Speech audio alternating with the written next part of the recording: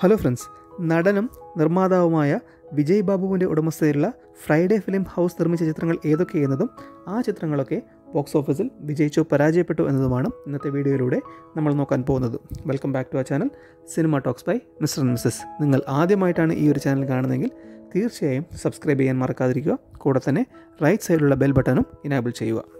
രണ്ടായിരത്തി പന്ത്രണ്ടിൽ പുറത്തിറങ്ങിയ ഫ്രൈഡേ എന്ന ചിത്രം നിർമ്മിച്ചുകൊണ്ടാണ് Friday film house Malayalam film ഇൻഡസ്ട്രിയിലേക്ക് കടന്നു വരുന്നത്. ഡ്രാമ ത്രില്ലറായി പുറത്തിറങ്ങിയ ഈ ചിത്രം ലിജിൻ ജോസ് ആയിരുന്നു സംവിധാനം ചെയ്തിരുന്നത്. ഫഹദ് ഫാസിൽ നിമിഷ സുരേഷ് നെടുമുടി വേണു എന്നിവരായിരുന്നു ചിത്രത്തിന്റെ മുഖ്യ വേഷങ്ങൾ കൈകാര്യം ചെയ്തിരുന്നത്. ബോക്സ് ഓഫീസിൽ ഈ ചിത്രം ഒരു ബിലോ എവറേജ് ചിത്രം ആയിരുന്നു. ഈ ചിത്രം നിർമ്മിച്ചത് ഫ്രൈഡേ ഫിലിം ഹൗസിന്റെ മറ്റൊരു നിർമ്മാതാവ് കൂടിയായിരുന്ന സാന്ദ്ര തോമസ് ആയിരുന്നു. അതുകൊണ്ടാണ് ഈ ചിത്രം ഫ്രൈഡേ ഫിലിം ഹൗസിന്റെ ആദ്യ ചിത്രമായി പരിഗണിക്കപ്പെടുന്നത്. അടുത്ത ചിത്രം രണ്ടായിരത്തി പതിമൂന്നിൽ പുറത്തിറങ്ങിയ സക്രയുടെ ഗർഭിണികൾ. കോമഡി ഡ്രാമയായി പുറത്തിറങ്ങിയ ഈ ചിത്രം സംവിധാനം ചെയ്തത് അനീഷ് അൻവറായിരുന്നു ലാൽ റീമ കല്ലിങ്കിൽ സനുഷ ഗീത ആശ ശരത് എന്നിവരായിരുന്നു ചിത്രത്തിന്റെ മുഖ്യ വേഷങ്ങൾ കൈകാര്യം ചെയ്തിരുന്നത്. ബോക്സ് ഓഫീസിൽ ഈ ചിത്രം ഒരു വിജയ ചിത്രമായിരുന്നു അടുത്ത ചിത്രം രണ്ടായിരത്തി പതിമൂന്നിൽ തന്നെ പുറത്തിറങ്ങിയ Philips and the monkey pen. Children's മൂവിയായ ഈ ചിത്രം സംവിധാനം ചെയ്തത് റോജിൻ തോമസ് ആയിരുന്നു ജയസൂര്യ രമ്യ നമ്പീശൻ മാസ്റ്റർ സനു എന്നിവരായിരുന്നു ചിത്രത്തിന്റെ മുഖ്യ വേഷങ്ങൾ കൈകാര്യം ചെയ്തിരുന്നത്. ബോക്സ് ഓഫീസിൽ ഈ ചിത്രം സൂപ്പർ ഹിറ്റ് വിജയം നേടിയിരുന്നു.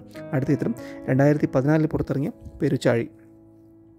പൊളിറ്റിക്കൽ ഡ്രാമയായ ഈ ചിത്രം സംവിധാനം ചെയ്തത് അരുൺ വൈദ്യനാഥ് ആയിരുന്നു മോഹൻലാൽ അജു വർഗീസ് ബാബുരാജ് എന്നിവരായിരുന്നു ചിത്രത്തിന്റെ മുഖ്യ വേഷങ്ങൾ കൈകാര്യം ചെയ്തിരുന്നത്. ബോക്സ് ഓഫീസിൽ ഈ ചിത്രം ഒരു പരാജയ ചിത്രമായിരുന്നു അടുത്ത ചിത്രം രണ്ടായിരത്തി പതിനഞ്ചിൽ പുറത്തിറങ്ങിയ ആട് ഒരു ഭീകരജീവിയാണ്.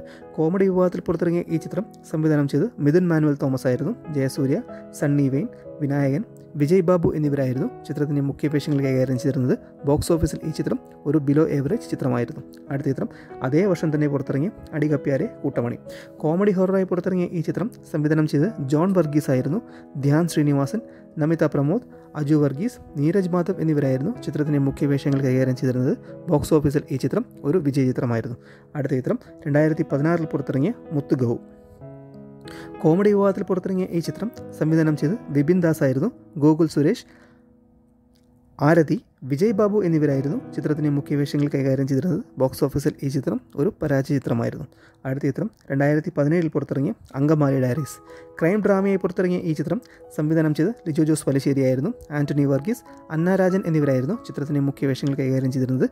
മൂന്ന് കോടി രൂപയായിരുന്നു ഈ ചിത്രത്തിന്റെ ബജറ്റ്. ബോക്സ് ഓഫീസിൽ ഇരുപത്തി അഞ്ച് കോടി രൂപയ്ക്ക് മേലെ കളക്ട് ചെയ്ത് ഈ ചിത്രം ബ്ലോക്ക് ബസ്റ്റർ വിജയം നേടിയിരുന്നു.